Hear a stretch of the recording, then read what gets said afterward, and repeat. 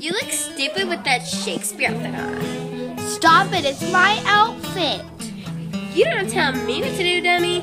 Stop messing with me. Oh, are you gonna go home and tell your mommy, crybaby? Hey, what's going on here?